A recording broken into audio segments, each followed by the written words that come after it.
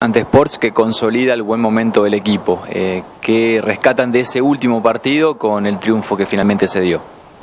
No, la verdad que estamos en un lindo momento. En, la verdad que eh, estamos buscando la regularidad que por ahí no teníamos los otros años y, re- y rescatamos eso.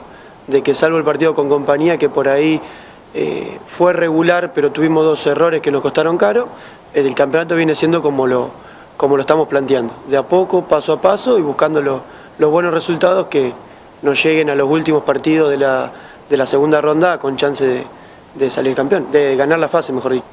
Y con respecto a este último encuentro, Eh, sí, lo que más se, lo que más se re- destaca es la, la actitud que tuvo el equipo, eh, siempre yéndolo a buscar eh, en el 0-0, 1-1, siempre fuimos para adelante. Y creo que en, en defensa estaba muy bien, estaba muy sólido, no lo llevan fácil, eh, si te pones a pensar, Sport no, no tuvo situaciones claras, salvo la última de, del partido ahí que cerró un gol increíble, pero no, estamos muy bien. han pasado seis fechas y el presente de Cusa es eh, muy favorable con una sola derrota, la que marcaban frente a compañía. ¿Qué les quedó de aquel partido? Nos quedó la sensación de que con un poquito más de paciencia, al tener un hombre de más, podríamos haber eh, tenido obviamente la pelota y defendernos con ella para, para que no nos empaten tan fácil como nos empataron a los 15 minutos más o menos. Y viste, después entrar en el nerviosismo y creo que lo, que rescatamos para este partido que pasó fue eso, tener paciencia, otra vez encontramos goles rápidos y, y creo que lo supimos eh, corregir, esa deficiencia que tuvimos con compañía.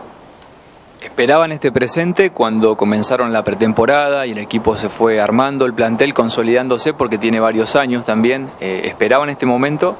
Eh, sí, yo creo que este, este iba a ser un buen año porque llegaron jugadores importantes. Eh, los chicos del club ya se están mentalizando que tenemos que pelear cosas importantes y, y sí, y Pacha ya no, no había como inyectado ya pelear el campeonato. Con respecto al nivel del torneo, bueno, Defensores y Sports eh, han quedado al margen del torneo federal y eso enriquece el fútbol local. ¿Cómo analizan esa situación? En particular me gusta eh, que esté eh, alto la vara, ¿sí? alto el nivel, para poder competir mano a mano. Como dijo Mati, creo que tenemos el plantel este año entre los chicos que vienen del club ya hace varios años y las personas que, los jugadores que se han acercado para pelearle a dos grandes planteles como el de Defensor y el de Sport y también rescato el de compañía. Eh, creo que la vara está alta y el campeonato está muy parejo y los equipos más chicos nos hemos, hemos emparejado eh, lo más que podemos, estamos emparejando a los, a los demás clubes. ¿Cuáles son, Facundo, las principales cuestiones que intenta mm, poner en el funcionamiento CUSA cada domingo, cada fin de semana? Primero en principal, Pacha nos remarca siempre que podemos tener un buen partido, un mal partido, pero la actitud no puede faltar nunca. Creo que en ninguno de los partidos ha pasado eso, así que es un punto a favor que vamos teniendo. Y después, eh, jugar, eh, mentalizarse que jugando de igual a igual en cada partido podemos tener eh, grandes resultados. No tenemos, no tendríamos que achicarnos a ningún, a ningún equipo porque creo que técnicamente hay muchos jugadores que, que creo que otros equipos no los tienen. Y tácticamente le podemos aportar solidez atrás para que los jugadores de adelante se sientan cómodos y confiados que ante un error de ellos nosotros estamos para, para, para poder defenderlo correctamente.